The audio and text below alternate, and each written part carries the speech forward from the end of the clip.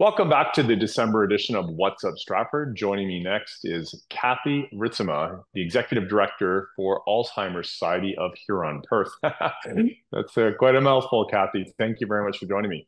Thank you for having me. Tell us about the merger. I believe it happened last year, and I know it was a long process. How is the merger between the two going, and um, how did it come about, and why did why did it uh, why why what was the genesis of it, please? Well, we've been we officially unified on April the 1, 2022. And the Perth Board of Directors at that time, it was the Perth Society, approached the Huron Society and asked for a conversation to think about what it may look like to unify. So it was a long process, as you said, and uh, they went through three phases. And at the end of the third phase, they decided, yes, it was a good idea to unify. And basically, it was that we could really expand our services to further uh, be able to help more people with a dementia. So that was really the the foundation of why we unified. And yeah, it's going it's going well. Change is hard. Change is always hard for everybody, of course, but uh, we're doing very well, and clients are being served no one has been left behind. So it's very good. Yeah, better served. Cathy, um, answer a question. Um, is Alzheimer's a form of dementia? Yes, it is. What we like to say is dementia is the umbrella term. And under that umbrella, Alzheimer's is one of them, the most prevalent dementia of the. Oh, it is. And that's why it has the prevalent name. Okay, that makes sense. Cathy, this is a tough question. There's 600,000 people in Canada with Alzheimer's. They project there's going to be 1 million by 2030. What is your opinion on why that's going to happen?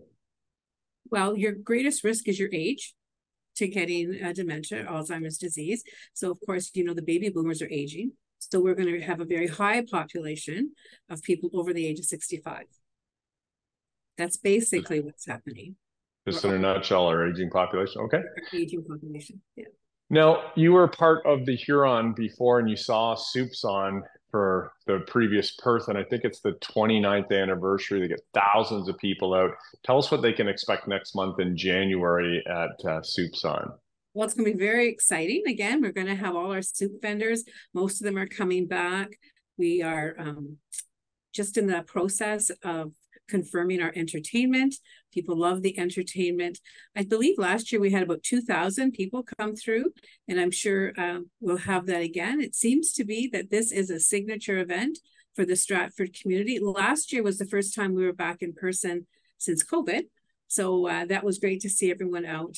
And um, yeah, the planning is ramping up, and we have about 150 volunteers that will be helping us that day we're very excited about it. I'm very excited to be part of Soupçon. I'm new to it, so it's very exciting for me. It's I should be impartial, but I love it. It's one of my favorite fundraisers. Kathy, why do you need to fundraise money?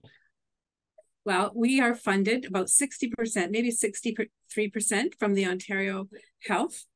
And so we need to raise the rest of the money. So some of our programs, like our social rec program, which is very important to our clients it uh, keeps them healthy. They get out. Um, it's less isolation. It's just overall good for their brain and their body.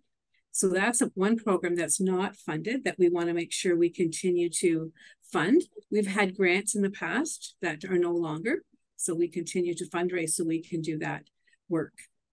And there's other programs that we do to our volunteer program is not funded. There's several programs that we need to fund.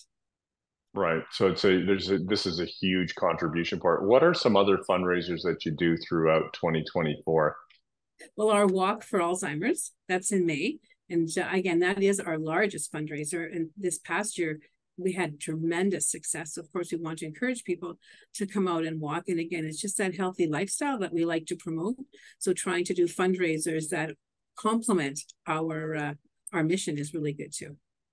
Well, Cathy, thanks for doing Soups On in January and the walk outdoors in May. That's why it's such a great success. And thank you for a difference you're making in people's lives. I really appreciate your time today.